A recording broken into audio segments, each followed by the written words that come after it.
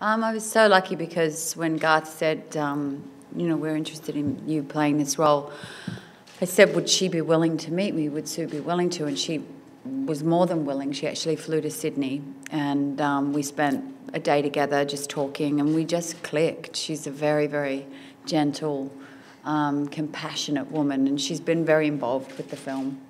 So I got to know her very well and we email and, and um, her family and she still lives in Tas. They still live in Hobart. So, um, but I hope that as the, as we promote the film more, people get to to meet them and meet the, the real family because they're just lovely, very special people. One of the great things that uh, Garth organised was not long before he started shooting. Um, Garth brought the cast and their real life, um, the people they were playing, together for a barbecue at the place where Garth was staying on the beach.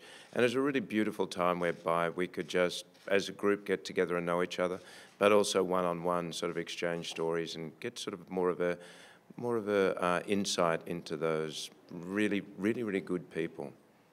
Ladies and gentlemen, you're watching Hey You Guys! Hey You Guys, huh? Hey You Guys. Is that from the Goonies? It is indeed, yeah. Nice. Hey